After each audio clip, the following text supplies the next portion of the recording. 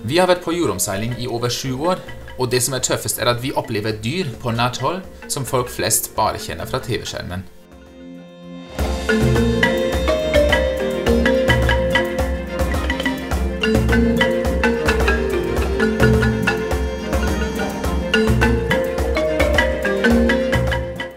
Velkommen til Amanda Seiling julekalender episode 21. Det er bare tre dager igjen til jul. På julekalenderen vår skal vi jo presentere alle mulige slags dyr som vi har møtt langs veien.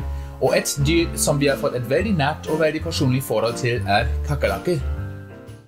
Da vi dro i 2013 fra Europa, så likte vi oss kjempegodt inne i båten, fordi det var varmt og koselig.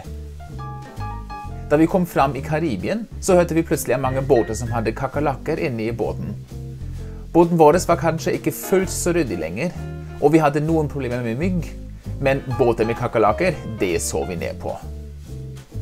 Men da lot vi båten ligge i et år i regnskogen, og etterpå da hadde også vi besøk om bord. Kakerlakker overalt. Det er litt irriterende. Kakerlakker overalt. Det er kjempeirriterende. Men jeg syns det er mer irriterende når det lander på deg om natta. Det er kakerlakker overalt. Og vi får om fire dager mannskapsmedlem, og jeg vil gjerne at han føler seg bedre, at han liker båten han kommer. Jeg er mannskapsmedlem, og han het Michael, og han kom jo om bord.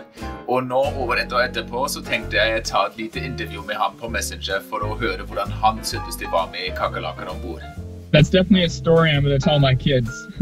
so, cockroaches are very active at night, and I slept with the cockroach poison spray beside my bed. When when they when they're flying around and landing on your face and your chest when you're trying to sleep and like crawling on you, like it, it wakes you up. Vi ble jo kjempeflaue og vi ble ganske redde at han skulle stikke av og reise hjem igjen, men isteden så tok han opp kampen. Yeah, well, I mean, I don't know how many times I woke you up in the middle of the night, like standing there in the sweltering heat with my headlamp, just like with the bug spray, like spraying all the cockroaches crawling everywhere, trying to get them. Etter hvert, med hjelp av Google og Wikipedia, så ble han faktisk ordentlig ekspert på kakerlakker. Yeah, they're really good at reproducing the cockroaches. You have one mature like female that like lays an egg satch, uh, like a like a satchel of eggs, and in that egg, I think I, I forget the statistic, but it was like up to like 50 cockroach eggs, and if that hatches, then you have 50 more cockroaches to deal with, right? Ja, hva kunne vi gjort annerledes i forveien, da? Even though like you made all the preparations to put the boat away safely, like the cockroaches would just crawl on the dock and like on the lines onto the boat.